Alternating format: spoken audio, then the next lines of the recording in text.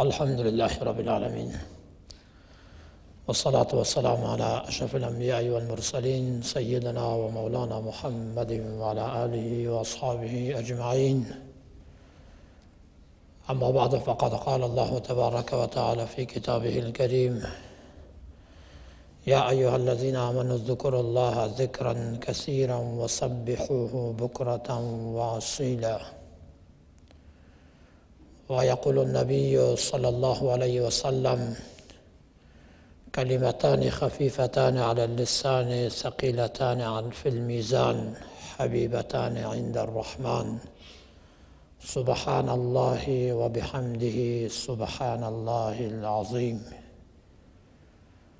صدق الله مولانا العظيم وصدق رسوله النبي الكريم.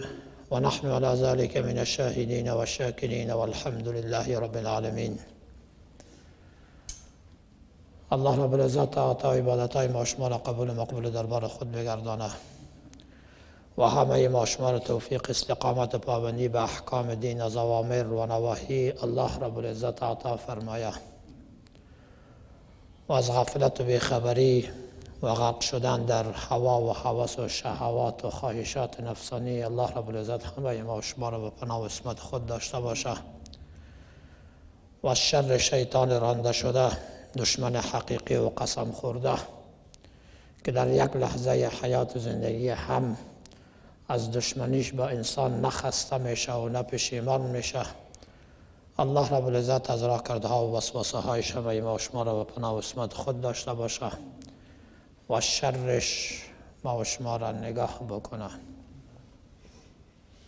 شک نیست برادر اسلام که وجود شیطان و یا ابلیس و یا دشمنی که در آغاز خلقت انسان دشمنی خود با انسان اعلان کرده حقیقت هست که همیشه شریعت های سماوی یکی پی دیگر ما و شما را از آگاه می سازه.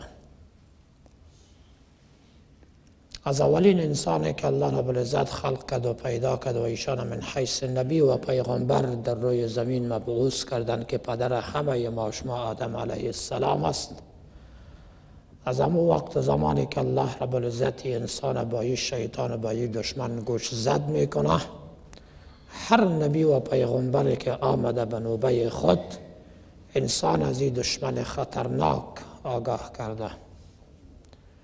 تا بالاخره زمانی که سلسله نبوت و رسالت با بعثت پیغمبر صلی الله علیه و سلم به پایان می‌رسه و حکمت الله جل جلاله تقاضا می‌کنه که با فرستادن پیغمبر صلی الله علیه و سلم دروازه نبوت و رسالت دیگر بسته شود پس حکمت الهی تقاضا کرد برادر اسلام که تا قرآن مجید کلام الله رب العزت و فرموده های نبی اکرم صلی الله علیه و سلم من حیث یک اصل در امت باقی بانه که تا چهره حقیقی و واقعی شیطان و ابلیس که با راکرده های مختلف انسان در گمراهی و دلالت فرو می‌بره. انسان بدانه که راه صحیح و درست و هدایت و فلاح و رستگاری را از این دو منبع و دو نور اساسی به دست بیاره. پس به اساس اگر این دو نور اساسی در رابطه با این امت نمی بود همی قسم که امتهای گذشته بعد از وفات انبیایشان در دلالت و گمراهی ها غرق شدند تعالیم سماوی را فراموش کردند رهنمایی های انبیا علیهم السلام از بین بردن و شیطان بالایشان غلبه حاصل کرد و هر آن دلالت و گمراهی که بود ایشان دو واقع کرد. پس به می جهت است که امت پیغمبر صلی الله علیه و سلم با داشتن از این دو نور شک نیست که می‌تونه که راه فلاح و رستگاری را. اگرچه پیغمبر صلی الله علیه و سلم من حیث یک انسان امروز در بین موتون نیست. اگرچه دروازه نبوت و رسالت بند شده. ولیکن آن چیزی که پیغمبر آخر الزبان از جانب الله جل جلاله آورده بودند. و آن چیزی که پیغمبر آخر الزمان برای ما شما ارشاد و راهنمایی کردم الحمدلله امروز در بین امت باقی است پس یکی از بهترین وسایل مبارزه با شیطان و ابلیس دشمن حقیقی ما و شما. که نه ما می‌تونیم که با او با توپ و تفنگ مبارزه بکنیم و نه ما می‌تونیم که با مشت و لغت با او مبارزه بکنیم و نه هم ما می‌تونیم که با شمشیر و چاقو با او مبارزه بکنیم. این در حقیقت یک مبارزه با یک موجود غیبی هست. که شریعت های سمیوم او تو را خبر میده پس مادامی که دشمن یک موجود غیبی هست پس باید که صلاحی از او هم غیر صلاح مادی باشه. چرا ما از توپ و تفنگ و شمشیر و چاقی و مشت لغت با کسی کار می‌گیریم که بود مادی داشته باشه جسمی داشته باشه. اما آن چیزهایی که بعد معنوی داره و غیبی داره پس ما هیچ وقت نمی‌تونیم که با این چیزها با اونا مقابله بکنیم.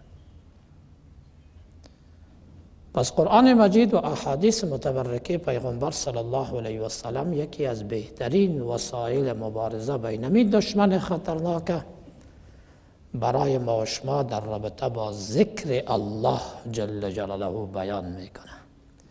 که ای بنده هر زمانی که میخوایی با این دشمن حقیقی در مبارزه باشی و در مبارزه با این دشمن خطرناکی که با وسایل مختلف تو را در دلالت و گمراهی فرو می‌بره و تو را مجبور می‌کنه که از او پیروی بکنی و اطاعت بکنی. یگان راه نجات تو فقط و فقط ذکر الله جل جلاله می باشه چرا شیطان با ذکر اسم الله رب العزت دیگه هیچ گونه توانایی و قدرت نداره. بلکه آنقدر از ذکر الله جل جلاله در حراس و در خوف می باشه که به مجرد که ذکر الله را بنده مؤمن و مسلمان می‌کنه دیگه شیطان بلای از او هیچ تاثیر کرده نمی‌تونه.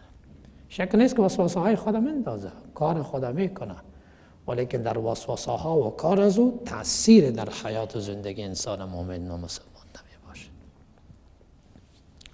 إن الذين اتقوا إذا مسهم طائف من الشيطان تذكروا فإذا هم مبصرون. کسانی که تقوا دارن و ایمان دارن و مجرد که میدانن که شیطان و ابلیس شروع به انداختن کرده شروع به اغوا و گمراهی از اونها کرده تذکرو پروردگار خدا یاد میکنن. رب خدا به یاد میارن. الله رب العزت به باکی و عظمتش یاد می‌کنن. فاذا هم مبصرون اینجاست که الله رب العزت برای زبان نور و بینایی و بینش میده که تا از شر از شیطان و شر از ابلیس در امان بانند پس به خاطر خواستیم برادر اسلام که امروز در رابطه با یو وسیله و در رابطه با یه صلاحی که دین مقدس إسلام در دسترس إنسان مؤمن و مسلمان قرار داده. و آیات متعدد قرآن مجید ما و شما را به أو ارشاد و راهنمایی میکنه. احادیث متعدد پیغمبر صلی الله علیه و سلم راها و فواید و اجر و ثوابش بر ما بیان میکنه. که در حقیقت ذکر الله رب العزت می باشه خواستیم که خطبه امروز جمعه را در رابطه با مسئله مفهوم ذکر انواع ذکر فواید ذکر طریقه ذکر سیغاها و کلماتی که ما توسط از او ذکر می‌کنیم برداشت های غلط و نادرستی که در رابطه با ذکر امروز ما کردیم. و این برداشت های غلط و نادرست منجر به شده که یک تعداد زیاد مسلمان ها اصلا در رابطه با ذکر احساس مسئولیت نکنند. در حالی که اگر ما در قرآن مجید مراجعه بکنیم مسئله ذکر آنقدر بالای ما تاکید شده آنقدر تاکید شده که حد و اندازه نداره. کلمه ذکر برادر اسلام یک کلمه عربی هست. و معنای از این کلمه در حقیقت به یاد آوردن و به یاد داشتن یک چیز میگه. یعنی به طور مثال زمانی که ما یک نفر میگیم ما تو را به یاد آوردم میگیم که ذکر تو که. ما از تو یاد کردم تو را به یاد آوردم. پس ما هر زمانی که میگیم ذکر الله جل جلاله مراد از ذکر الله جل جلاله به یاد داشتن الله رب العزت می باشه یعنی به این معنا که انسان مؤمن و مسلمان در حیات و زندگی خود همیشه به یاد الله باشه. الله را به یاد داشته باشه. الله را فراموش نکنه. اگر تنها هست اگر در دکان است اگر در سرک هست اگر در حین نان خوردن است اگر در حین خواب کردن است در هر جایی که هست رب خدا فراموش نکنه. پروردگار خدا فراموش نکنه. چرا؟ به جهت از که متوجه باشیم برادرای اسلام که به مجردی که انسان به مجردی که انسان یعنی همون لحظه که انسان الله را فراموش می‌کنه با یقین بدانی که در اون لحظه دیگر با شیطان بالای تو حجوم می‌کنه شیطان می‌فهمه که من چی وقت بالای از انسان حجوم بکنم. شیطان ابلیس میدانه که من چی وقت می‌تونم که پاهای از انسان سست بکنم. شیطانی را میدانه که چی وقت می‌تونم که انسان در دلالت و گمراهی بکشانم. چی وقت؟ هر زمانی که انسان از یاد پروردگار خود غافل شد. هر زمانی که انسان الله را از یاد برد و فراموشش کرد. پس کلمه ذکر به معنای به یاد داشتن معنا میده در رابطه با آخرین سوره های قرآن مجید که الله رب العزت ما شما را امر می‌کنه به یکی قل بگوی برشان اعوذ پناه می جویم برب الناس ملك الناس إله الناس من شر الوسواس الخناس الذي يوسوس في صدور الناس من الجنة والناس. بكي پناه میبری برب الناس ملك الناس إله الناس. از چی پناه میبری از خناس. وسوسه های خناس چی را میگن؟ کلمه خناس از کلمه خناسه گرفته شده. و اصل کلمه خناسه را زمانی که ما در زبان عربی ترجمه می‌کنیم کلمه خناسه به معنای آن چیز هست که پیدا میشه و گم میشه. یک چیزی که پیدا میشه و گم میشه و یا آشکار میشه و دوباره پنهان میشه این همین به نام خناسه یاد می‌کنن. به طور مثال ما شما برخی گروپ ها داریم که گل میشه و بل میشه. گل میشه و بل میشه. یعنی کلمه گل شدن و بل شدن پیدا شدن و پنهان شدن این میره به نام خنسه یاد می‌کنن در زبان عربی. خب الله رب العزت چرا این به نام وسوسه های خناس مسما کرد؟ و جهت از اینکه وسوسه ها را انسان اگر در داخل خود ارزیابی بکنه این وسوسه ها در حقیقت چیزی هست که برخ اوقات در انسان پیدا میشه و برخ اوقات در انسان گم میشه. یک وقت می‌بینی در دلت یک چیز گشته. یک وقت می‌بینی که چیز در دلت نگشته. پس به یقین که وسوسه های شیطان است ابلیس است. خب چی وقتی وسوسه ها در تو ایجاد میشه و چی وقتی وسوسه ها در تو پنهان میشه؟ اصل موضوع ذکر که ما شما بیان می‌کنیم. ابن عباس رضی الله تعالی عنه از جمله مفسرین قرآن مجید بودن. یعنی به این که برخی آیاتی که مشکلات ایجاد می‌شد و فهم درست از او را اصحاب کردن نمی‌تونستن. عبدالله ابن عباس عبدالله ابن مسعود اینا از جمله مفسرین قرآن مجید بودن. و در رابطه با تفسیر خناس بر ما میگن که شیطان در قلب انسان دو زانو زده. شیطان یعنی یک تصویر مجسم بر ما می‌کنه. شیطان در قلب انسان دو زانو زده. سیل کده میره. هر زمانی که قلب انسان از ذکر الله خالی شد هر زمانی که قلب انسان از یاد الله غافل شد هر زمانی که انسان الله را فراموش کرد در نمی لحظه است که شیطان هجوم می‌کنه. در نمی لحظه است که شیطان دیگه وسوسه ها را در تو ایجاد می‌کنه. و هر زمانی که در قلب تو یاد الله پیدا شد ذکر الله پیدا شد با یاد رب افتادی باز میشه که شیطان دوباره خدا پس می‌کشه دیگه. چرا ما گفتم که با شیطان و ابلیس با ذکر الله جل جلاله هیچ وقت استتاگی صدایی کردن نمی‌تونه الله رب العزت در قرآن مجید ما شما را خبر داده برادر اسلام. و می فرماید که چگونه شیطان در حین غفلت انسان از یاد پروردگار عالم بالای انسان تسلط حاصل می‌کنه تسلط تسلط به چی منه؟ یعنی به یه که بالای تو حاکم میشه و تو را هر طرفی که خواسته باشه دورت میته دیگه چه وقت؟ هر زمانی که انسان از یاد پروردگار عالم غافل میشه برادر اسلام هر زمانی که انسان از یاد الله غافل شد و بیخبر شد باز اینجاست که شیطان بالای از انسان مسلط میشه پس ما تو در دنیا در یک مبارزه هستیم برادر اسلام.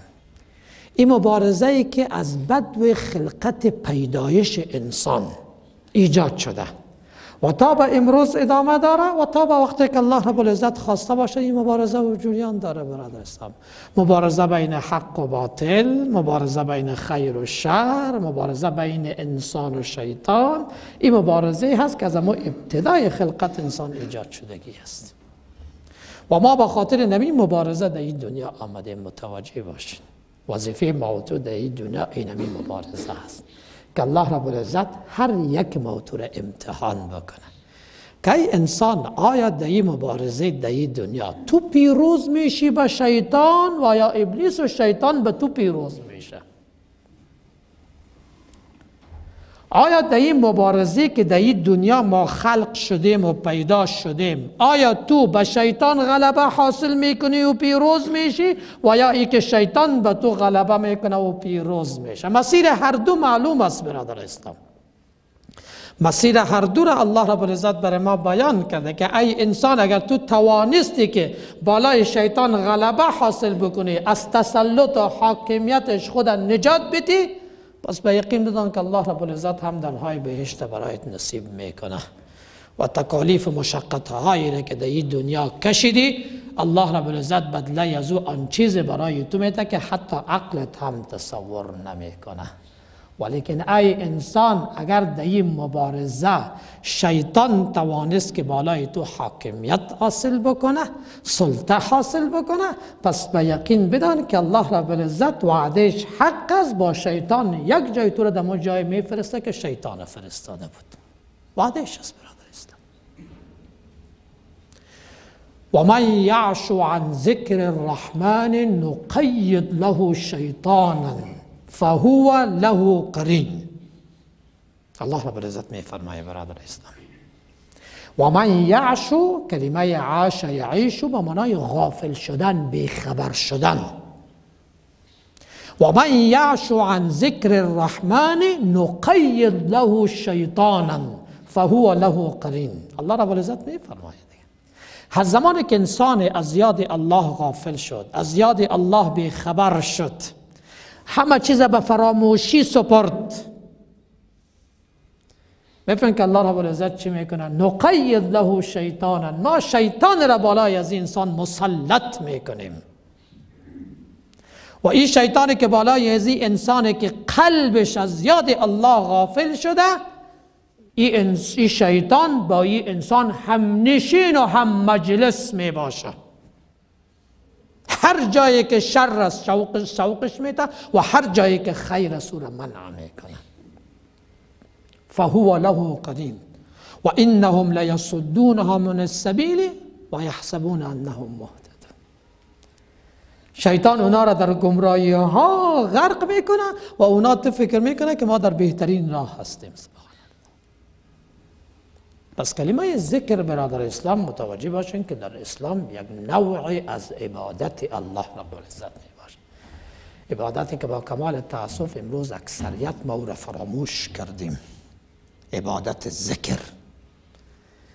شک نیست که امروز ما نماز من حیث عبادت الحمد انجام میتیم ماه مبارک رمضان فرا می‌رسه الحمد روزه من حیث عبادت بدنی انجام میتیم الله رب العزت توانایی مالی داده باشه برای ما زکات میتیم عبادت الله رو میگیم انجام دادیم حج میریم مراسم انجام میتیم میگیم عبادت را انجام دادیم ولیکن امروز در رابطه با ذکر هیچ که ما تو فکر نمی کنیم که یکی از مهمترین عبادت ها یکی از ضرورت ضروری ترین عبادت ها و یکی از عبادت هایی که قرآن مجید همیشه ما و شما را به او ارشاد و راهنمایی کرده امروز در حیات زندگی ما و شما کم رنگ شده برادر اسلام.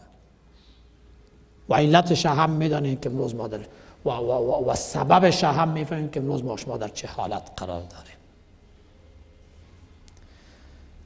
خب چرا ذکر الله برادر اسلام متوجه باشین که تمام جهان و کائنات و هر آن چیزی که هست الله خلقش کرده. خالق از این آسمان خالق از این زمین و خالق آن چیزی که در آسمان زمین هست. خالق همه از که هست الله رب العزت.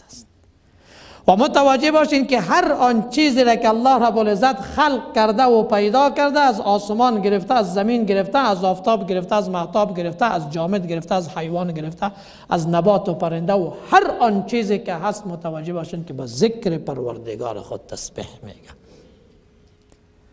رب خود به پاکی یاد می‌کنه رب خود به عظمتش یاد می‌کنه.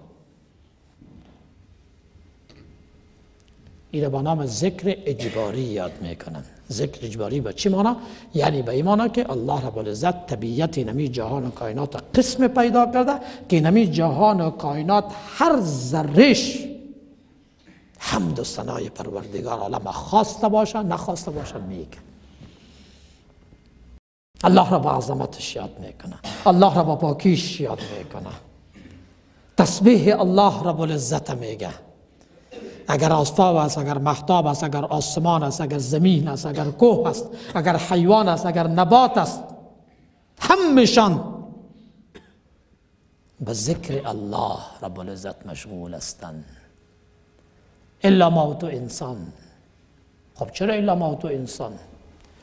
و جهت از که الله رب العزت مسئله ذکر خدا تسبیح خدا و یاد کردن الله رب العزت الله رب العزت به اختیار و اراده ما تو انسان گذاشته.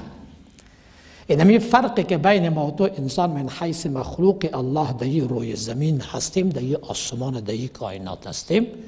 و اینمی آسمان و کائنات هم که همش من حیث مخلوق الله رب العزت می باشه فرق ما و فرق ایزی مخلوقات دیگه اینمی هست برادر اسلام. که الله رب العزت به ما و تو انسان اختیار داده اراده داده عقل داده توانایی داده. در چه؟ در انجام دادن عبادات الله رب العزت. ولیکن الله رب العزت آفتاب و محتاب و هر آن چیزی که در زمین و کائنات است همیشه به عبادت خود چی کرده؟ مجبور کرده. به عبادت خود اونا را قایم ساخته و اونا کوچکترین تخطی از عبادت الله رب العزت کرده نمی‌تونند برادر اسلام. توی تو فکر نکو که کوه جامد هست. نه کوه به نزد ما و تو جامد هست. سنگ به نزد ما و تو جامد هست. ای به نزد پروردگارت مخلوقش است و اینمی مخلوقش آن چیزی که شایسته از او می باشه رب خدا عبادت می‌کنه رب خدا سجده می‌کنه رب خدا پاپاکی و وحدانیت یگانگیش یاد می‌کنه. سنگ کو؟ اگر کو احساس نمی داشت احساسی که مطابق طبیعت خودش است دیگه. ما تو انسان هستیم از خود احساس داریم. حیوان است از خود احساس داره. نبات است از خود احساس داره. و کوه جامد هم که مخلوق الله هست از خود احساس داره. اگر یه احساس در کو نمیدار نمی بود الله رب العزت هیچ وقت نمی فرمود که لو انزلنا هذا القرآن على جبل لرأيته خاشعا متصدعا من خشیت الله. اگر این قرآن ما با کو نازل می کردیم کو مخلوقش است. همین قسمی که قرآن برای موتون نازل کرد و ما اوتو را به استعدادهای زیر داد. الله رب العزت اگر این قرآن به کو نازل می‌کرد و او استعدادهایی که برای موتو دا برای کو می‌داد از شدت خشیت و ترس الله رب العزت کو پاره پاره می‌شد. اگر این زمین و آسمان و کو احساس نمی داشتن مکلف به عبادت رب العزت نمی بودن الله رب العزت هیچ وقتی امانت برشان پیش نمی کرد دیگه. این امانت که امروز ما برداشتیم برادر اسلام این امانت که امروز به سر شانه های ما تو انسان گذاشته شده و او کدام امانت هست؟ امانت عبادت الله رب العزت به اختیار اراده دست. مخلوق الله هستی. به سوی الله بر میگردی دیگه کدام جایی نمیری برادر عزیزم؟ الله خلق کرده الله پیدایت می‌کنه الله مرگ به سراغت میآید. الله رب العزت دوباره روز حشر زندیت می‌کنه و تو هیچ توانایی و قدرت نداری که خدا از بین بره و نیست و نابود بکنی. نه قطعا. او خلق کرده او پیدا کرده تمام پروسه تا پیش می‌بره. پس این امانت عبادت اختیاری را الله رب العزت به شانه ما و تو انسان گذاشته. پس اگر ای آسمان ای کو و زمین احساس نمی داشتن شعور نمی داشتن اصلا الله رب العزت امانت به پیش از اونا پیشکش نمی کرد. آیا از خالق خالق آسمان و زمین آیا از حکیم و علیم که از اسرار همه چیز آگاه هست آیا شایسته ذات از او هست که امانت به سوی کس پیش بکنه که او توانایی و قدرت برداشتنش نداشته باشه؟ آیا ما می‌تونم که به این پایه امر کنم که برو دروازه را پیش کو؟ آیا به این پایه ما می‌تونم که امر بکنم که بیا به اصلاح به پیش ما او بیار چای بیار؟ نه قطعا پایه یک چیز جامد است و استاد است. پیش ما.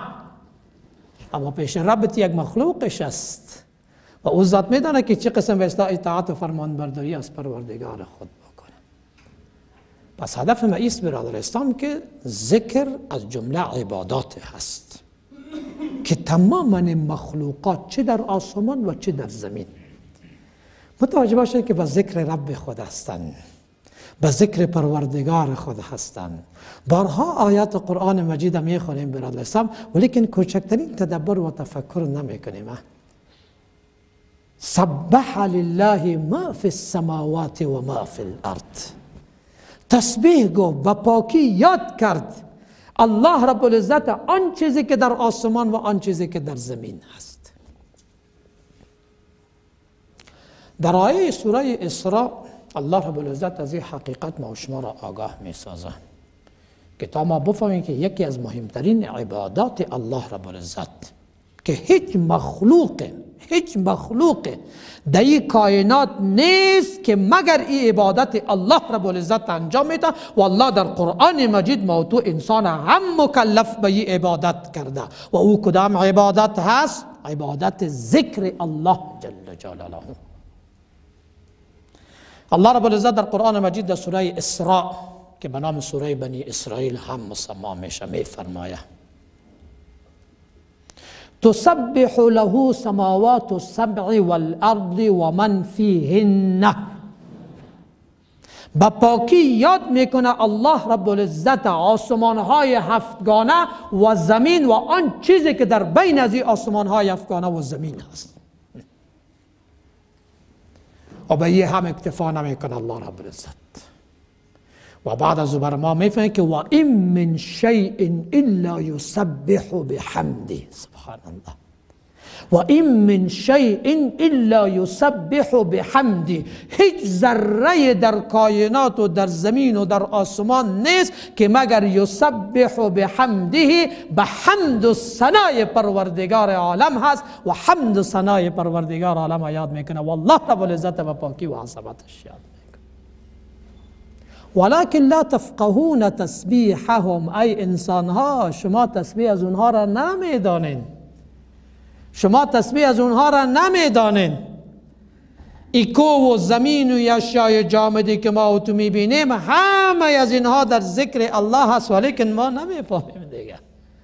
ربش میدانه خالقش میدانه و او میدانه که چی قسم حمد و ثنای پروردگار عالم هر یک از اینها ادا می‌کنن. بدون از اینکه کوچکترین تخطی و کمی و کاستی در ذکر الله جل جلاله بکنه.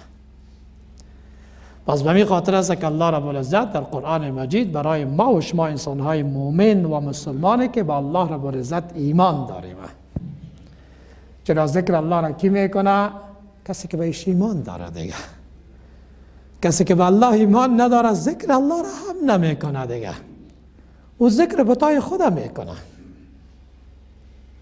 امروز یک تعداد مردم صاحب خدایشان شیطان و ابلیس هست. اونا ذکر شیطان و ابلیس هم می‌کنن و هر آن چیزی که شیطان و ابلیس به او خوش شود و انجام میدن. امروز یک تعداد کسا صاحب بودا را پرستش می‌کنن. ذکر و عبادت از اونها بودا هست. اونها در الله نیستن. پس الله را کی ذکر می‌کنه؟ کسی که به ایمان داره. پس به می خاطر است که الله رب العزت هم در مسئله ذکر که از جمله عبادات الله رب العزت شمرده میشه کی را خطاب قرار داده؟ کسایی که ایمان دارند دیگه. چرا ما براتان گفته بودم که در قرآن مجید ما خطابهای گوناگون داریم دیگه. برخی خطابه ها هست که تمام انسان ها را در بر می‌گیره و این امر متعلق به همه انسان ها میشه. یا ایها الناس اعبدوا ربکم الذی خلقکم. هر انسان الله خلق کرده و هر انسان مکلف به عبادت پروردگارش است و به می خاطر است که الله رب العزت کل انسان ها را خطاب کرده که ربتان و خالقتان پروردگارتان عبادت بکنید اما زمانی که ما در رابطه با مسئله ذکر می آییم برادر اسلام الله رب العزت می یا ایها الذین آمنوا اذکروا الله ذکرا کثیرا و سبحوه بکرتا و اصیلا علی آیت متوجه موضوع هست برادر عزیزم. بیاین خدا در رابطه با این آیت ارزیابی بکنیم. این مکلفیتی که الله رب العزت به زمه موضوع گذاشته که ای آن کسانی که ایمان دارین اذکر الله ذکرا کثیرا. تنها ذکرم نگفته. الله رب العزت از ذکر بکنین ذکر بسیار زیاد. و سبحوه و تسبیح از او را بگوین با پاکی یادش بکنین. حمد و ثنایش را یاد بکنین. بکرتا و اصیلا. شب و روز. شب و روز. بدم استثنای قرار نداره برادر اسلام. ذکر از جمله عبادات هست برادر اسلام که متوجه باشین که شروطش بسیار آسان هست. ما در رابطه با نماز شک نیست که شروط داریم که شروط سخت داره دیگه. بسیاری اوقات ما نمی‌تونیم که شروط نماز پوره بکنیم. ولیکن الله رب العزت به خاطر سهولت برای ما شما راهایی را گذاشته دیگه. یعنی به ایمانا که اگر ما وضو نداشتیم دیگه نماز خونده نمی‌تونیم. اگر قادر به استعمال آب نبودیم تیمم بکو دیگه پول نداشتی پیسه نداشتی حج نیست دیگه زکات نیست دیگه ولیکن در رابطه با ذکر متوجه باشی که شروط وجود نداره. نه شروط طهارت و پاکی هست برادر اسلام نه شروط وقت و زمان است نه شروط مکان است بلکه ذکر در هر حالت در هر وقت و در هر زمان تو باید به ذکر پروردگارت باشی حمد صدای پروردگارت بگوی که با تمام از این مخلوقات زمین و آسمان یکسان شوی این همی قسمی که تماما مخلوقات در روی زمین ذکر الله را می‌کند تو مخلوقش هم در ذکر الله خدا با اینا چه بسازی شریک بسازی پس به خاطر است که الله رب العزت در قرآن مجید در رابطه با مسئله ذکر ما را مکلف می سازه که شما الله رب العزت ذکر بکنین و با ذکر کردن الله رب العزت متوجه باشین که الله رب العزت برای شما اطمینان میته آرامی میته خوشبختی میته سعادت میته از شر خطرناکترین دشمنتان که شیطان و ابلیس است توسط نمی صلاح ذکر شما را نجات میده. کلمات ذکر بسیار ساده هست برادر اسلام کلمات ذکر بسیار آسان هست. در ذکر ما هیچ تکلف و مشقت نداریم.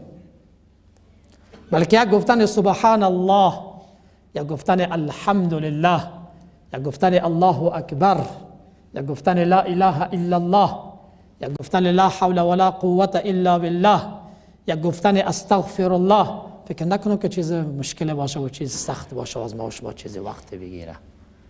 ولیکن متوجه باشین که تاثیرات از این در حیات و زندگی انسان آنقدر زیاد می باشه آنقدر زیاد می باشه که حد و اندازه نداره.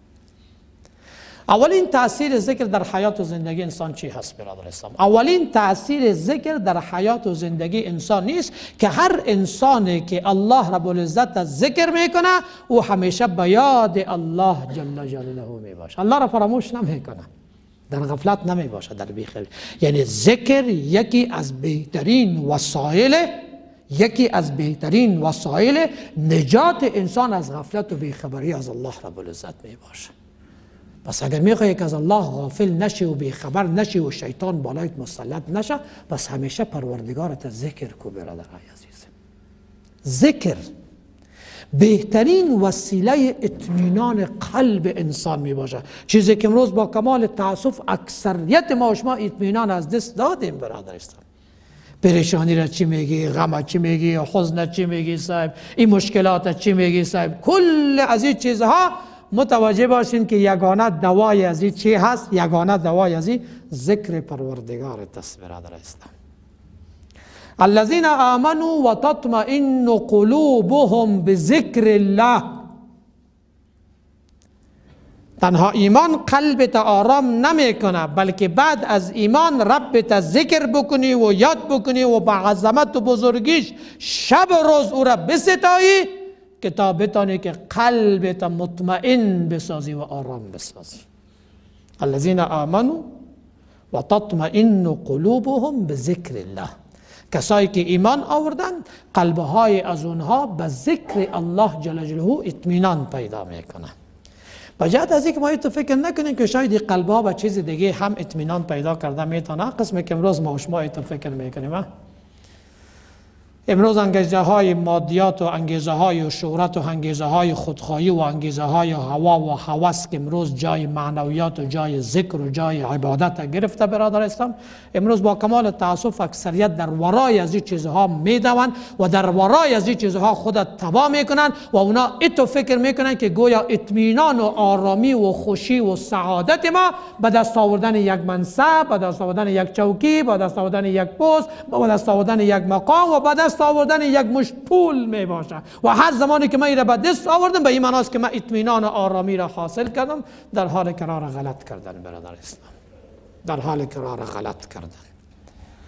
پروردگار عالم در تعقیب از این آیت بر ما فرمایه که الا متوجه باشین.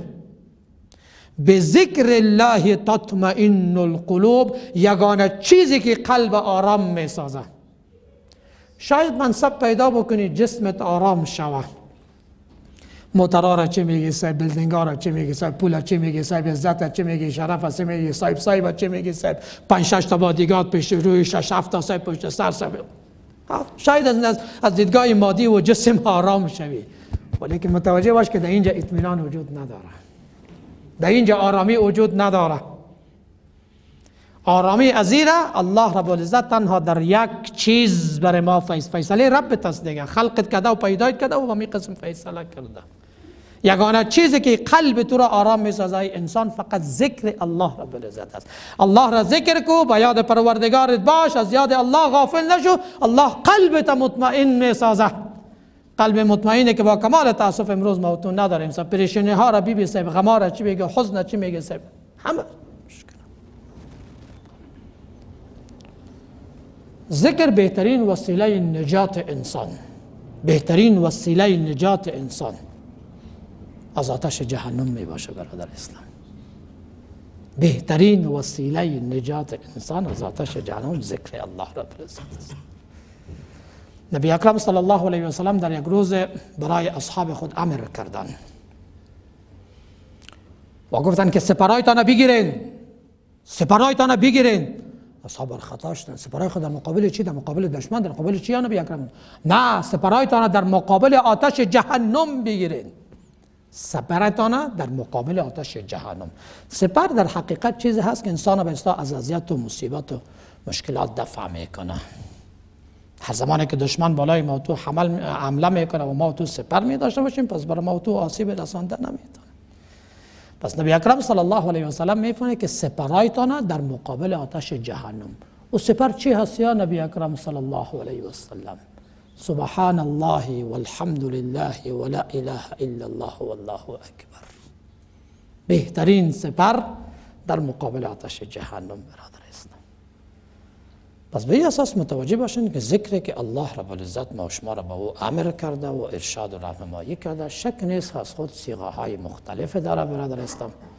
ذکر عبادت هست و ما تو حق نداریم که در عبادات الله رب العزت تصرف بکنیم. حق نداریم. چرا اگر شریعت اسلام حق تصرف در عبادت برای موتوم می‌داد متوجه باشین که نمی قسم که شریعت های سماوی قبلی همش تحریف شدن و از بین رفتن و امروز کدام اثری از اونها باقی نمانده. الا آن چیزی که باقی مانده فقط هوا و حواس چند انسان منحرف هست که را من حیث و دین بر ما بیان کرده. پس به خاطر دین مقدس اسلام شریعت نبی اکرم صلی الله علیه وسلم برای هیچ کس حق نداد که در عبادات تصرف بکنم. عبادات از پیش خود بسازم و یا در عبادات کمی و بیشی بکنن چرا؟ تصرف در عبادت در حقیقت حقیقت عبادت از بین می‌بره برادر اسلام عبادت زمان به نزد الله جل جلاله من حیث عبادت قبول میشه که مطابق آن چیز صورت بگیره که قرآن و سنت پیغمبر بر موضوع بیان کرده. پس قرآن و سنت پیغمبر صلی الله علیه و سلم امی قسمی که ما و شما را به ذکر الله جل جلاله ارشاد و راهنمایی کرده به عین شکل برای ما و شما کلمات و صیغه‌های از هم طریقش بر ما بیان کرده برادر اسلام. و ما تو حق نداریم که در رابطه با یه ذکر از پیش خود تصرف بکنیم. آیا ما می‌تونیم در نماز تصرف بکنیم؟ امکان داره. تمام علمای جهان اسلام با هم یک جای شوند. همه صاحب اجماع و اتفاق نظر بکنن و در رابطه با نماز به اصلاح کدام تغییرات را بیارن. امکان داره برادرستان قطعا نداره. آیا ما می‌تونیم که در عبادت حج کدام تصرف بکنیم؟ آیا ما می‌تونیم که در عبادت روزه کدام تصرف بکنیم؟ قطعا. شریعت اسلام هست. پس به این شکل متوجه باشین که ما در رابطه با عبادت ذکر هم تصرف کردن نمی‌تونیم دیگه از پیش خود چیز ایجاد کردن نمی‌تونیم. با مو الفاظ و با مو کلمات مقید می باشیم که شریعت اسلام بر ما تو گفته. از پیش خود کلمات نمی سازیم با مو حیعتی که شریعت اسلام بر ما تو گفته با مو حیعت می باشیم و از پیش خود حیعت های مختلف را ایجاد نمی کنیم با مو قسمی که شریعت اسلام ما و شما را به مسئله ذکر ارشاد و راهنمایی کردن ما مقید به مو باز اینجاست ذکر تاثیرات خود در حیات زندگی می داشته باشه برادر باز اینجاست که ذکر بهترین وسیله ارتباط تو با الله رب العزت است. باز اینجاست که ذکر بهترین وسیله اطمینان قلبت میشه. باز اینجاست که ذکر بهترین وسیله نجات تو از آتش جهنم در آخرت و شر شیطان در دنیا میشه. اما اگر ما در ذکر تصرف کردیم از پیش خود به ذکر ساختیم و از پیش خود به حیعت های ذکر ایجاد کردیم. پس متوجه باشین که ذکر که نه تنها که در حیات و زندگی ما شما تاثیر نمی داشته باشه بلکه برعکس در دلالت ها و گمراهی ها ما شما را چی می‌کنه؟ فرو می‌بره. یکی از مهمترین اسکار قبل از اینکه در رابطه با این سیغه ها بیان بکنه متوجه باشین که ذکر سه نوع است برادر اسلام. یکی را ذکر قلبی میگن یکی را ذکر بدنی میگن و یکی را هم ذکر لسانی و یا زبانی میگن. ذکر قلبی ذکر بدنی و ذکر زبانی و یا لسانی. و بهترین ذکر اونمو ذکر است که هم دو لسان زبان و هم جسم و بدن و هم قلب انسان هر سه شامل باشه بهترین ذکر اونمو ذکر است که هم بدن هم زبان و هم قلب هر سه شریک باشه. و می‌فهمید که ذکر در کدام عبادت می باشه این ذکر در عبادت نماز متحقق میشه. عبادت نماز ذکر است برادر اسلام. و بهترین ذکر است. با جهت از که در عبادت نماز هم زبان ذکر الله را میگه سبحانك اللهم و بحمدک. الحمدلله. رب العالمين. سبحان ربي العظيم. سمي الله لمن حمده. ربنا ولك الحمد. سبحان ربي العلا التحيات لله والصلوات والطيبات. این ذکر زبانت شد ذکر بدن قیام. رکوع سجده سر و زمین ماندن. الله را ذکر میکنی. ذکر قلب اخلاص و خشوع و خضوعی که در اینجا هست این ذکر چی می باشه ذکر قلب می باشه پس از این جهت هست متوجه باشیم برادرستان که نماز خودش در حقیقت یکی از بهترین ذکرهای هست. که الله رب العزت زمانی که با موسی علیه السلام در کوی تور سخن گفت. الله رب العزت راستن مستقیما از ورای حجاب. و در سوره طه الله رب العزت واقعه را بر ما بیان می‌کنه زمانی که موسی علیه السلام از مدین آمد و بالاخره می‌خواست که به طرف مصر بیاید که جای اصلیش بود در کوی تور صاحب آمدن صاحب تاریکی شب بود هوا سرد بود و فامیل خود موسی علیه السلام شان و گفت که باز من میرم در اونجا آتش می‌بینم نور می‌بینم. از او یکان چیز بیارم که خود گرم بکنیم یا را را پیدا بکنیم. این همین که زمانی که موسی علیه السلام میره او آتش نبود بلکه بس او رحمایی بود که الله رب العزت موسی علیه السلام به مقام نبوت و رسالت میرسانه و در این موقع زمانی الله رب العزت خالق آسمان و زمین ذاتی که وجود داره برادر اسلام. اگر وجود نمی داشت با موسی تکلم نمی کرد. در قدم اول الله رب العزت خود برای موسی علیه السلام معرفی می‌کنه که من کی هستم. برای موسی علیه السلام می‌فهمه که اننی انا الله لا اله الا انا فعبدنی موسی متوجه باش که من الله هستم بغیر از من هیچ معبود دیگر شایق شایسته عبادت نیست و مرا چی بکو؟ عبادت بکن. و به خاطر ذکر ما به خاطر یاد ما به خاطر از که ما همیشه پیش تو حاضر باشم و در یادت باشم و در غفلت و بیخبری خبر داخل نشی و اقیم الصلاة لذکری. و اقیم الصلاة لذکری. و نماز برپا دار ای موسی به خاطر ذکر و یاد با چرا؟ به جهت از اینکه در این نماز دیگه تمام اعضای ذکر در فعالیت هست. هم زبان هم قلب و هم اعضای بدن. اما آن چیزی که از ذکر قلب میگیم برادر اسلام متوجه باشید که ذکر قلب در حقیقت ذکر هست که در هیچ لحظه حیات و زندگی دیگه از انسان ساقط نمیشه.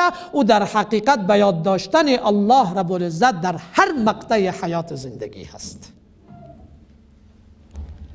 اگر استاده هستی اگر نشسته هستی اگر در خواب هستی اگر در هر جایی که هستی این ذکر دیگه سر تو ساقط نمیشه. چرا قلب که از یاد الله غافل شد پیشتر برتان گفتم که در قلب دیگه شیطان ابلیس حمله می‌کنه بس شیطان شش است. شیطان هیچ وقت از دشمنی ما و تو خسته نمیشه برادر اسلام. تا آخرین لحظه که ما و تو با ملک الموت با اینجا نرم می‌کنیم تا او لحظه هم شیطان ما و تو را نجات نمیده. و جنود و لشکر خدا میگه که اگر این لحظه این انسان از پیش تا نجات پیدا که در حقیقت دیگه خلاص پلان ما همش در خاک شد. میفهم ذکر قلب برادر اسلام یاد پروردگار علم در هر مقطع زمانی هست. در وقتی که پروردگار برات نعمت میته رب فراموش نکو. در وقتی که الله رب العزت برایت قدرت میته صلاحیت میته منصب میته و چوکی میته رب فراموش نکو. این ذکر قلب میگن در حالی که مصیبت برات می‌رسه حادثه و واقعه پیش میشه رب فراموش نکو. این به نام ذکر قلب یاد می‌کنم و ما با همیشه با ذکر قلب ضرورت داریم اما آن چیزی که ما امروز ذکر تنها خلاصه کردیم برادر و زمانی که همیشه ما ذکر میگیم اکثریت فکر می‌کنه که ذکر لسانی و ذکر زبانی باشه شک نیست که ذکر لسانی و ذکر زبانی هم یکی از انواع ذکر می باشه که ما توسط زبان آله گویایی که الله رب العزت بر ما داده ما توسط از این آله ما می‌تونیم که الله رب العزت به حضمت و بزرگی و حمد و ثنایش یاد بکنیم. پس به خاطر است که سنت نبی اکرم صلی الله علیه و سلم طریقه ذکر زبانی را بر ما بیان می‌کنه و آن سیغه هایی که نبی اکرم صلی الله علیه و سلم در رابطه با ذکر زبانی بر ما میگه متوجه باشین که افضل ترین از او و بهترین از او و قوی ترین از او می‌فهمین کدام ذکر است؟ تلاوت قرآن مجید. در سرخط تمام اسکار زبانی قرار داره برادر اسلام تلاوت قرآن مجید به ذات خود عبادت هست. و شک نیست که زمانی که ما تلاوت میگیم تلاوت در حقیقت خواندن قرآن مجید و یا قرائت قرآن مجید توسط زبان میشه دیگه. پس اگر میخوایی که با ذکر زبانی همیشه زبانت مرتوب باشه همیشه زبانت با یه ذکر تر باشه و خشک نشه پس قرآن مجید تلاوت کده برو و یه بهترین ذکر هست. که از کده از ذکر زبانی دیگه اعلا چیز دیگه نمی باشه. بعد از تلاوت قرآن مجید بهترین ذکر زبان افضلترین ذکر زبان شاید یک کلمه باشه که الحمدلله همه ما و شما یاد داریم و هیچ وقت زمان از ما تو نمی‌گیره. او در حقیقت چیست؟ لا اله الا الله. لا اله الا الله. لا اله الا الله.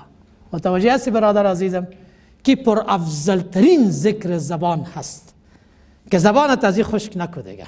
همیشه زبانت با این ذکر تر باشه. چرا؟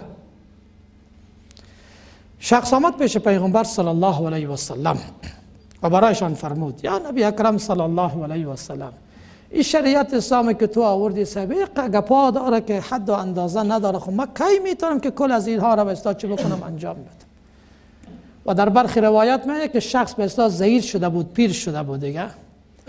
پیش پیغمبر آمد شکایت که هیچ قدر چیزایی که تو جهاد است و دعوت است و نماز است و روزه است و زکات است و دیگه و دیگه و دیگه ما کی می‌تونم که کل از این چیزها را انجام یا پیغمبر در شریعت اسلام مرا چیز بگوی چیز بگوی که به او تمسک بجویم که تا ما بتانم که تا ما بتانم که تمام آن چیزی که تو گفتی در آن چیزی که تو میگی و ما تمسک میجویم بتانم که کل از اون چیزها را انجام بدم. یا نبی اکرم صلی الله علیه و بگوی یک چیز برای ما میفهم که پیغمبر برایش چی گفت؟ گفت زبانت با ذکر ربت مرتوب داشته باش. سبحان الله چیزی که امروز اکثریت فراموش کردیم. برادر است و زبانت با ذکر ربت مرتوب داشته باش. خب چرا؟ وجهت از که زبانت که با ذکر ربت مرتوب باشه به این معناست که پر افضل ترین عمل را انجام دادی. سبحان الله مسئله ذکر آسان چیز نیست برادر اسلام. حتی نبی اکرم صلی الله علیه و سلم در برخی از آیات متوجه باشین که نمی ذکر فضیلت و برتریت از این آنقدر برای ما و شما بیان می‌کنه آنقدر برای ما بیان می‌کنه که اگر ما برتان بگویم شاید که قبول نکنین. الا که چون قول پیغمبر صلی الله علیه و سلم است ما به او سر میمانیم. الا اخبرکم. می‌بینه که پیغمبر تاکید می‌کنه. آیا ما شما را خبر نتم؟ به بهترین عملتان. به محبوب ترین عمل به نزد پروردگارتان. به بهترین عمل که درجه های شما را بی حد بلند می سازه به او عملی که از خرج کردن و انفاق کردن طلا و نقره کرده بهتر باشه به این هم کفایت نمی‌کنه به او عملی که از موقعی که تو در میدان جهاد با دشمن در مقابل باشی و او سعی و تلاش و کوشش بکنه که گردن تو را بزنه و تو سعی و تلاش و کوشش بکنی که او گردن گردن از را بزنی از این موقع که هم افضل و خوبتر براتان بیان نکنم. او چی هست یا نبی اکرم صلی الله علیه و سلم ذکر الله. ذکر الله. ذکر الله. از جهاد در وقتی که به اسلام موقعی که خون به اسلام میریزه. موقعی که نبی اکرم صلی الله علیه و سلم می‌فهمه که ذروت الاسلام جهاد. ذکر پروردگارت برادر عزیزم. امروز با کمال تاسف سبحان الله شک نیست که تکنولوژی معاصر ایجابیات خدا هم داره و سلبیات به حد زیاد خدا هم داره. با این تکنولوژی معاصر که امروز به دست ما تو قرار گرفته. با کمال تعصف اکثریت از ذکر پروردگار عالم غافل شدگی است گفتن یک سبحان الله گفتن یک الحمدلله گفتن یک سبحان الله و بحمده سبحان الله العظیم. متوجه باشیم برادرای عزیزم که آنقدر به نزد الله جل جلو اهمیت داره. آنقدر به نزد الله محبوب می باشه که حتی نبی اکرم صلی الله علیه و سلم میفرماید که از, از میدان جهاد که در مقابل دشمن هم باشی این کلمات به نزد الله چه باشه محبوب می باشه و به خاطر نبی اکرم صلی الله علیه و سلم سیغه های ذکر برای ما بیان می‌کنه. در قدم اول گفتیم تلاوت قرآن مجید در قدم دوم گفتیم کلمه لا اله الا الله چیز بسیار ساده هست و در قدم سوم نبی اکرم صلی الله علیه و سلم میفرمایند که محبوب ترین کلمات به نزد پروردگار عالم. آیا تو نمی‌خوای که به نزد پروردگار هم بهترین چیز انجام بدی؟ محبوب ترین کلمات به نزد الله چه هست؟ سبحان الله والحمد لله ولا اله الا الله والله اکبر. از هر کدامش که آغاز می‌کنی هیچ کدام اشکال نداره. سبحان الله والحمد لله ولا اله الا الله والله اکبر. چقدر وقت ما تو می‌گیره؟ شاید یک ده ثانیه. متوجه باش که محبوب ترین کلمات به نزد پرور چرا؟ وجهت از اینکه ذکر نیست که تنها تو بکنی ذکر است که آسمان و زمین به این ذکر مشغول است. سبحان الله. آسمان و زمین. و از جمله اسکار که نبی اکرم صلی الله علیه و سلم برای ما بیان میکنه. کلمه لا حول ولا قوة الا بالله. کنز من کنوز الجنة. کنز من کنوز الجنة. کلمه لا حول ولا قوة إلا بالله. هیچ حول و هیچ قوت و هیچ توانایی نیست. بهترین چیز هست که قلب انسان مطمئن می سازه برادر. هیچ قوت هیچ قدرت هیچ توانایی وجود نداره. الا بالله العلی العظیم. مگر قوت و توانایی الله رب العزت. مگر قوت و توانایی که الله رب العزت برای انسان داده. هیچ قوت و توانایی در مقابل قوت ربت نیست و این چیزی که واقعا قلبت مطمئن می و از جملة از کاری که نبی اکرم صلی الله علیه و سلم برای ما بیان میکنه برادر اسلام یکی هم کلمه سبحان الله و بحمده سبحان الله العظیم است دو کلمه بسیار کوچک. همین قسم که نبی اکرم صلی الله علیه و سلم در حدیث خود فرمودن بسیار در زبان انسان هم بسیار آسان گفتم سبحان الله و بحمده سبحان الله العظیم. كلمتان خفيفتان على اللسان ثقيلتان في الميزان حبيبتان عند الرحمن. دو کلمه که در زبان بسیار سبک بسیار آسان و بسیار سلیس می باشه ولیکن در ترازوی میزان به حد هست. فمن ثقلت موازینه فهو فی عیشت راضیه. اگر میخواهی که ترازوی میزانت در روز قیامت ثقیل شوه و سنگین شوه و در عیشت راضیه الله رب العزت را داخل بکنه. پس امروز ذکر الله رب العزت بکو و جهت از اینکه نمی ذکر هست که ترازوی میزان تو را ثقیل میکنه برادر اسلام حبیبتان عند الرحمن. دو کلمه که به نزد الله خیلی محبوب و خیلی دوست داشتنی هست. سبحان الله و بحمده. سبحان الله العظیم. پاک است. الله رب العزت به حمد سنایش و پاک است. الله رب العزت به عظمت و بزرگی سبحان در رابطه با ذکر سبحان الله والحمد لله والله اکبر که پیشتر براتون گفتم برادرستان در حدیث میایه که یک تعداد فقرای صحابه شک نیست که در صحابه هم برکه سخزا فقیرها بودن که چیز نداشتن. و برخی کسان الحمدلله دارایی داده بود پول داده بود امکانات داده بود.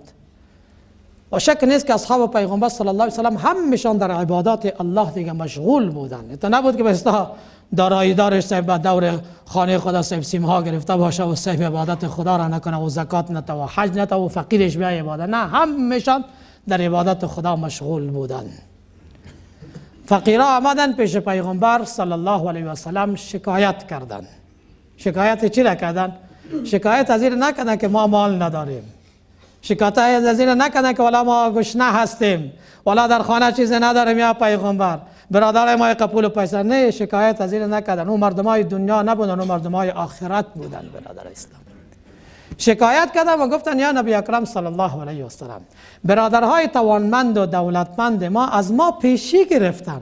از ما در اجر و ثواب سبقت کردن یا پیغمبر. چگونه گفت ما هم نماز می‌خوانیم اونا هم نماز می‌خوانن. ما هم روزه می‌گیریم اونا هم روزه می‌گیرن. ما هم ذکر می‌کنیم اونا هم ذکر می‌کنن.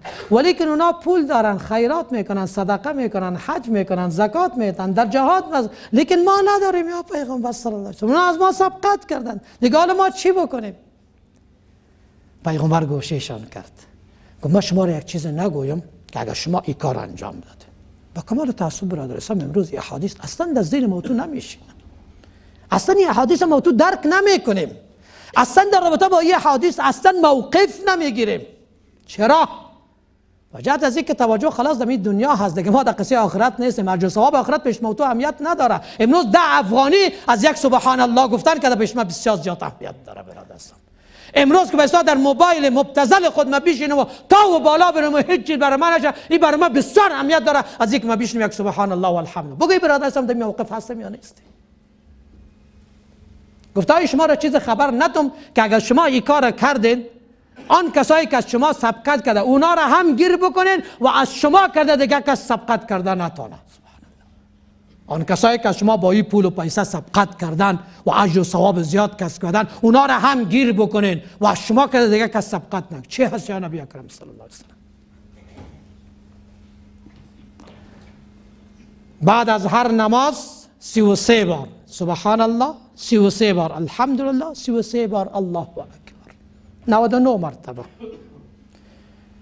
شاید که دو دقیقه ما شما در بر نبی نهایتا سه دقیقه این بعد از نماز انجام بدیم فقرا ها میشن صاحب بعد از نماز صاحب سبحان الله الحمدلله الله اکبر سی و سه سی و سه با صاحب گفته رفتن یک وقت صاحب دولتمندا خبر شدن که اینا ولی یک ذکر می‌کنن چی می‌کنین شما گفت ما این ذکر پیغمبر برای ما یاد دادن و یا هم شروع کردن این دولتمندا هم شروع کردن آمدن پیش پیغمبر باش شکایت کردن. یا پیغمبر اینا هم ذالک فضل الله یؤتیه من یشاء. دیگه این فضل خداوند است. میته هر کس دیگه. من چی بکنم دیگه؟ من قرار را برای شما نشان دادم.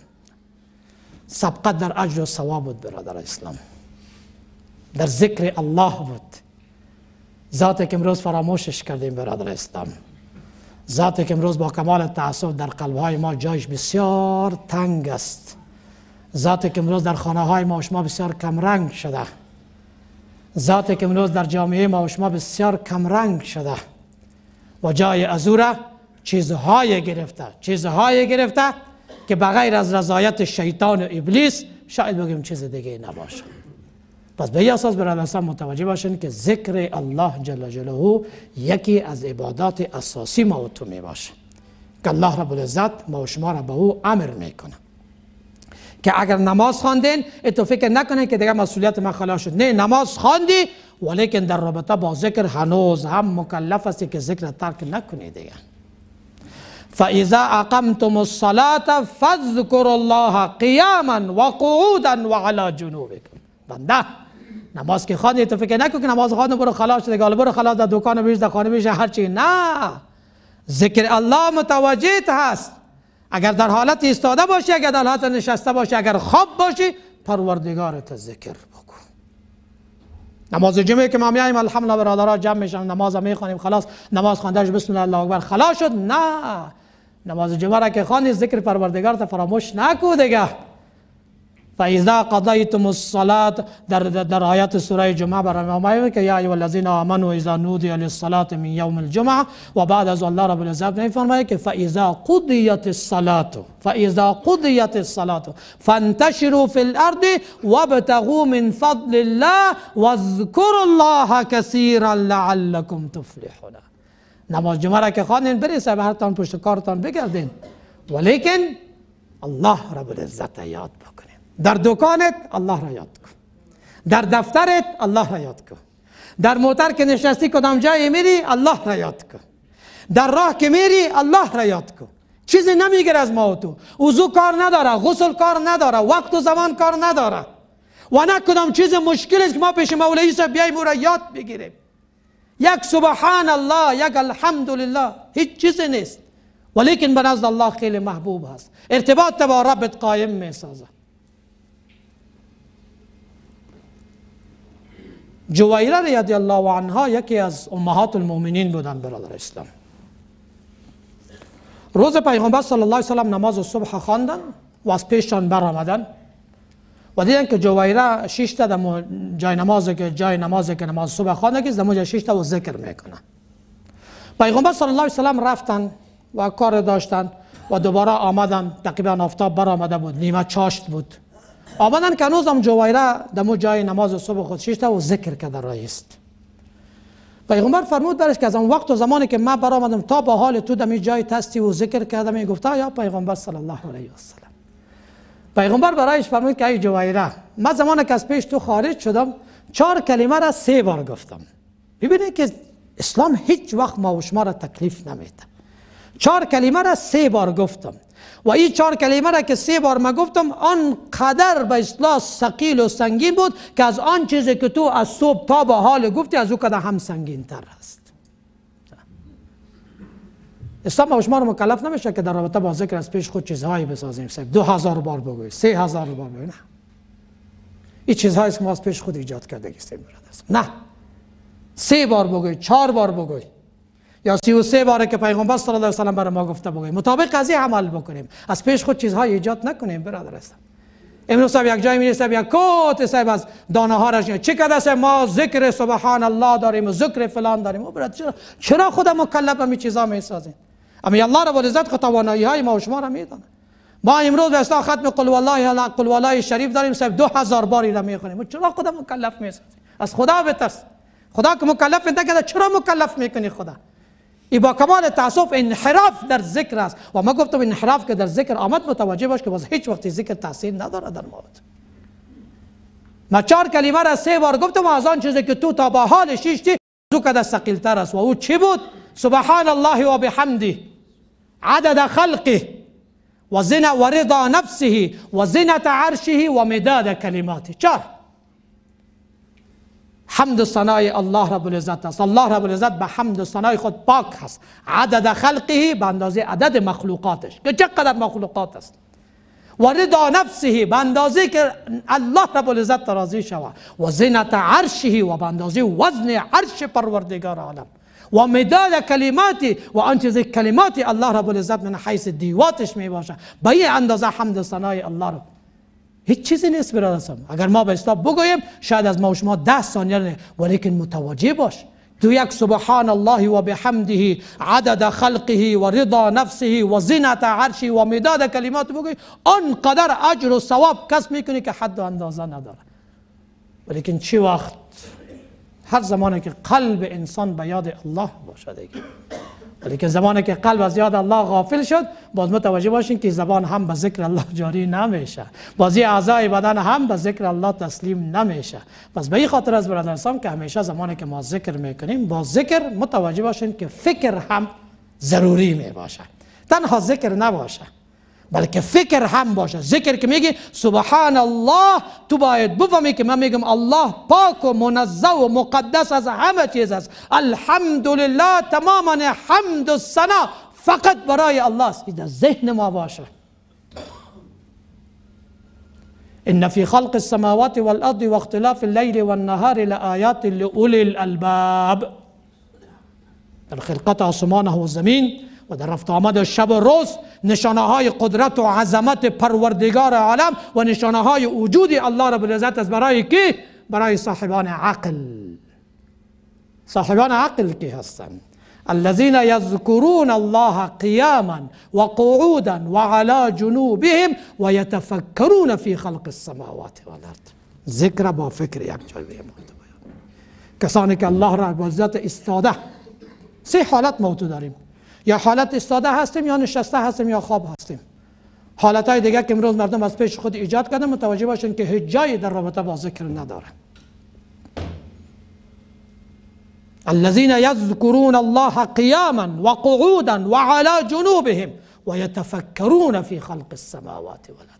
پس هر زمانی که ما ذکر میگیم برادر متوجه باشیم که معنا و مفهوم ذکر هم بفهمیم و در رابطه با او فکر هم بکنیم. اینجاست که با ذکر ثمرات خدا اطمینان قلب ما و شما را ایجاد می‌کنه ولیکن هیچ وقت به این معنا نیست که زمانی که ما در ذکر خود در ذکر خود فکر نداریم پس ذکر هم رها بکنیم یعنی هیچ وقت به این معنا نیست که ما براتون میگم که زمانی که ما در ذکر فکر ما نبود ذکر هم الا یعنی به این معنا که قلب ما غافل بود ذکر زبان ترک نکنیم برادر اسلام یک شخص آمد پیش یکی از بزرگا و یادآور شد و گفت که ما ذکر می‌کنیم و هیچ تأثیری در زندگی ما نیست. گفت خدا را شکر بکو که همون زبانت خود به عبادت خود مشغول کرد.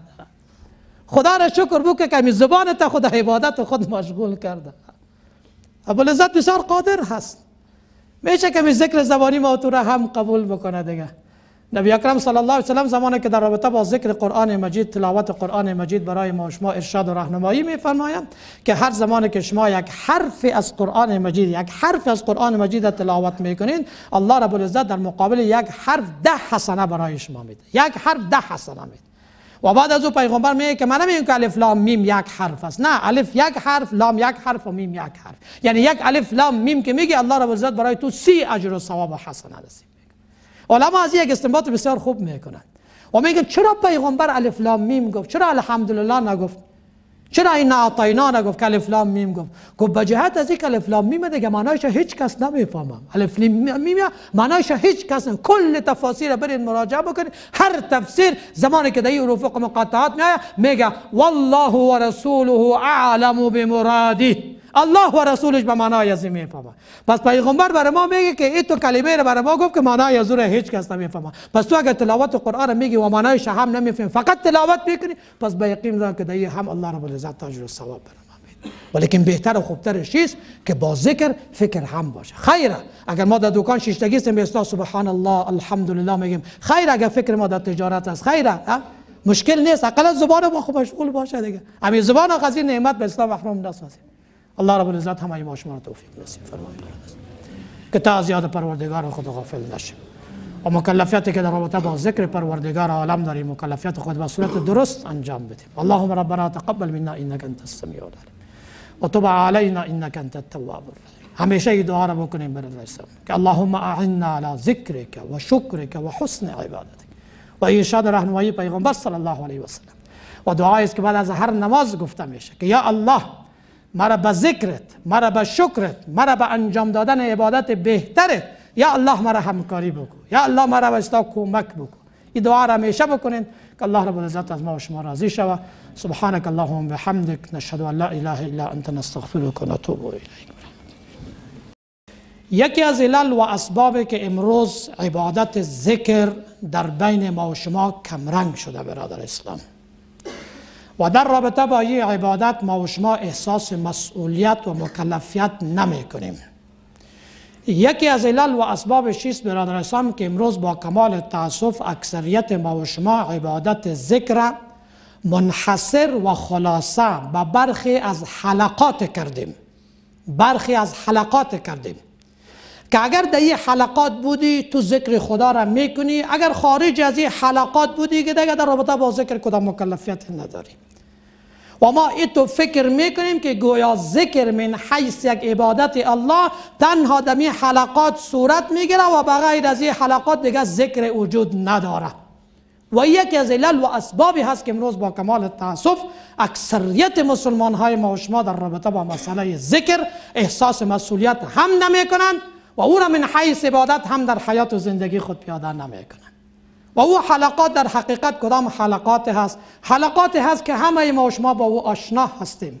به نام حلقات تصوف و یا حلقات صوفی که امروز در خانقاه ها و در جاهای میرن و با هم گرد میآیند و به زعم و گمان خود گویا ذکر الله را می‌کنند و به اشکال مختلف به طریقه های مختلف به سیغه های مختلفی که نه شریعت ثابت است و نه پیغمبر در رابطه با او گفته و نه اصحاب پیغمبر او را انجام دادند به این اشکال به نام ذکر الله حلقات خدا دایر می‌کنند و این دشمنهای اسلام هم با تمام قوت که دارند این برای مردم مجسم می‌سازند که تا انسانهای تو فکر بکنن که گویا ذکر جایش دیگه این اینجاست که در این نبوده که در رابطه با ذکر کدام مکلفیت نداری در حالی که در ذکر که در این حلقات میشه برادر اسلام اگر ما حیات از بگیریم اگر ما کلمات از ببینیم اگر ما صورت از مورد بحث قرار بدیم متوجه باشین که همه از اینها در حقیقت و نمو بدعت و دلالت و گمراهی هست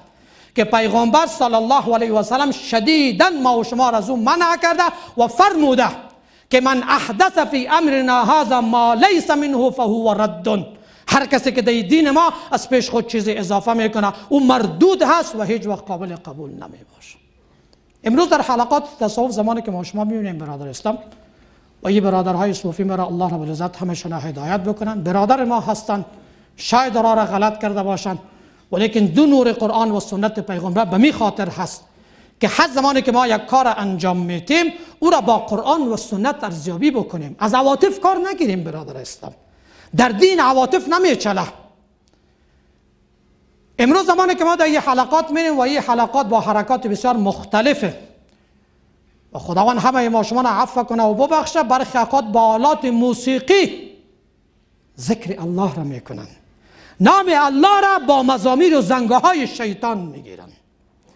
و بالاخره حیات های مختلف را می‌گیرن. صاحب خدا شور میتن راست میرن و چپ میرن راست میرن و چپ میرن و بالاخره از ذکر بهترین ذکر که لا اله الا الله هست از پیش خود ذکر استنباط می‌کنن که نه قرآن گفته و نه سنت پیغمبر صلی الله علیه و سلم گفته و همه ما شما کم کم در رابطه سے معلومات های داریم.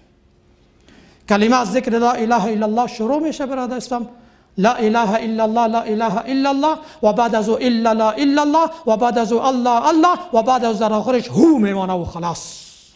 همش دیگه حذف میشه. حالا هو را نمی‌فهمی که هو یعنی چی. هو نه اسم از اسمای الله هست هو نه صفت از صفت الله هست و نه هو مثل یک اسم الله در قرآن و سنت ذکر شده. و بالاخره هو هو هو گفته میرن برادر صاحب و یکیش مفته و چپه میشه از دانش قفز او ولا در حقیقت ذکر رسید.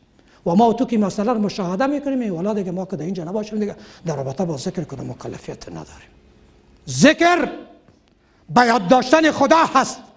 ذکر انسان از خدا غافل نمی سازه ذکر انسان قوت میده. ذکر انسان بینایی میده. ذکر انسان بصیرت میده. ذکر انسان بیستاد زمین نمی‌زنه. ذکر انسان بیهوش نمی‌کنه. اگر ذکر انسان بیهوش می‌کرد الله رب العزت هیچ وقت در قرآن مجید نمیفرمود. که هر زمانی که شما با دشمن مقابل میشین فذکر الله کثیرا. خدا را زیاد یاد بکنین. اگر ما پیش دشمن خدا را زیاد بکنیم و بستا وجه بیاید و در زمین بفتیم سب از دان ما قبل بیایستیم دشمن سب می‌زنه و بزنه اونجا از بین میبن نه. ذکر موتور قوت میته ذکر موتور بصیرت میته ذکر موتور بینایی میته ذکر موتور اطمینان میته ولیکن در آن چیزی که امروز ما از ذکر می‌بینیم برادر اسلام متوجه باشین که با کمال تاسف منجر به این شده که یکی ما شما در رابطه با ذکر احساس مسئولیت نکنیم. در حالی که متوجه باشین که کل از این روند دشمن هست و سرسختترین دشمن که هست؟ اونمو ابلیس و شیطان که با شیاطین جنی خود با هم یک جای به اصلاح آمده و ما و شما را از ذکر خدا غافل. چرا زمانی که ما از تو از ذکر خدا غافل شدیم؟ شک نیست که شیطان بالای ما تو مسلط میشه. بالای از اونها با او شکل مسلط میشن که در ذکر انحراف کردن بالای موتو با شکل مسلط میشه که از ذکر غافل شدیم. أقول قولی هذا واستغفر الله لي ولكم ولسائر المسلمين واستغفروه انه هو الغفور الرحيم